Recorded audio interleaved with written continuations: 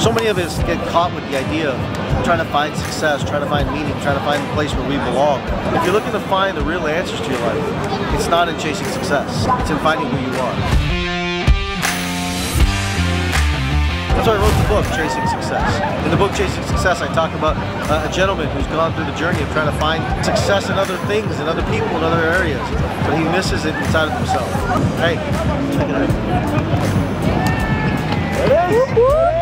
We